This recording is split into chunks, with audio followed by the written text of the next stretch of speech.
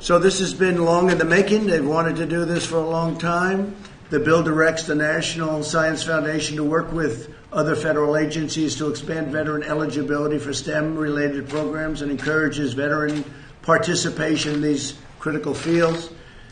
Uh, incredible uh, work, and it's so good for our veterans. Our veterans are doing so well because of what we just spoke of with Jerry with choice. It's uh, amazing. And the other thing, Jerry, we can talk about is accountability.